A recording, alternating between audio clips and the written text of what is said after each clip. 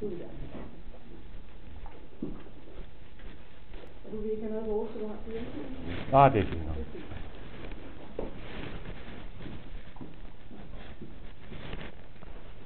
Ja. Godt. Velkommen til. Ja, tak. Du velkommen tilbage. Nu har ikke set på din før. Jeg har ikke mødt dig før. Jeg har selv mit navn i Jessen, og det er mig, der skal holde det møde her i dag, som handler om forældremyndighed. Inden vi går i gang, så skal jeg lige have skrevet ned, hvem det var, jeg mødte med. Det var din søster og, Nej, min kone og min mor. og det var dig, der mødte din søster. Ja. ja.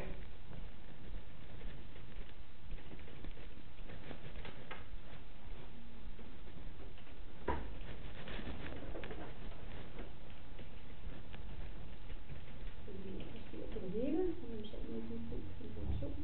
Så jeg jeg sige, at vi har tavshedspligt i forhold til det, vi taler om som udgangspunkt forældrene, der er på banen her. Nogle bisidder har noget konstruktivt at bidrage med, men ellers er det som udgangspunkt. Det er også til starte med at sige, at hvis skal til en forældremyndighed i dag. Når forældrene får en ansøgning om forældremyndighed, så indkalder vi forældrene til et møde, hvor vi skal finde en vejledning omkring forældremyndighed, så vi kan komme til enighed i forhold til forældremyndighed hun ikke bliver enig i statsforvaltningen, så er det retten, der kan træffe en endelig afgørelse om forældremyndighed. Hvis der er et behov for midlertidig afgørelse, så er det statsforvaltningen, der kan træffe den, det kan jo sådan om det. Kan det betyde, at det er aktuelt, men ellers er det altså en retssag, man skal igennem, som ikke kan være enig på, om man skal igennem noget. Vil selvfølgelig gerne sige, at begge to har på hjertet i forhold til sagen om forældremyndighed. Jeg kan også lidt at det er en om, som jeg også bagefter, som jeg skal tilfælde. Det er mere sandsynligt. Men Bettina, det er dig, der har søgt, så du får lov til Ja. først at sætte nogle ord på. Det vil jeg gerne så gøre. banen bagefter, Peter. Jamen, øh, jeg har ansøgt om forældremyndighed, fordi øh, jeg mener, det er det bedste for Jasmin.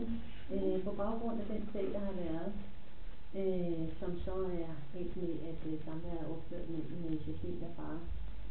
Der kan jeg godt være øh, urolig for, hvordan øh, det kommer til at foregå øh, fremadrettet, så længe vi har øh, fælles forældremyndighed. Øh, som det fremgår af afgørelsen her, og som det fremgår af mange andre dokumenter, så har vi haft øh, samarbejdsproblemer siden øh, Jasmin var 11 måneder gammel. Første gang øh, den 20. marts i 2007, og det har øh, så at sige øh, stået på indtil nu, hvor hun er blevet 11 år. Det har været hvert år, hver andet år, vi har været herinde for at søge hjælp omkring øh, samarbejdet. Så øh, det er et samarbejde, øh, dårlig kommunikation, som, øh, som virkelig har øh, øh, det her øh, det sidste års tid. Øh, som vi selv nævner her, så har Jasmin gennem mange år befundet sig i en loyalitetskonflikt og et emotionelt pres på grund af forældrekonflikten. Det jeg er bekymret for fremadrettet, hvis det er, at der fortsat skal være fælles forældremyndighed, det er øh, de problemer, vi vil møde fremadrettet. Mm, Det kunne være øh, eksempelvis et skoleskift. Jeg ved, hun har lige skiftet klasse her for et halvt år siden. Og det går rigtig godt nu.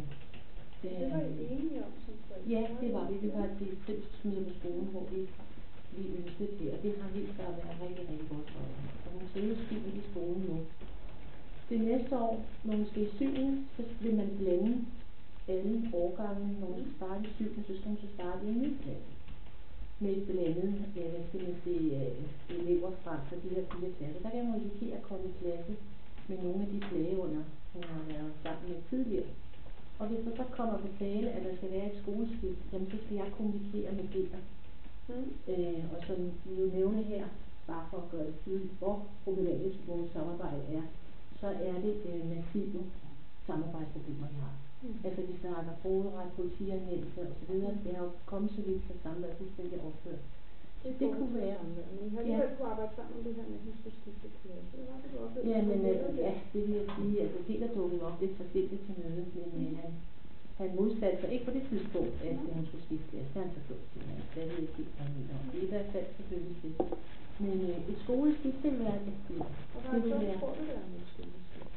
og en Hvor gang, hvor aktuelt tror du, det bliver med skolen? Jamen det kan jeg ikke vide. Det jeg bare tænker på, hvis jeg skal se i barnets perspektiv, hvordan kan vi undgå, at der skulle komme flere øh, konflikter fremadrettet? Altså samværet er opført, ja, hun har ikke lyst til at se sin far. Alligevel skal jeg kommunikere med Peter, som, øh, som er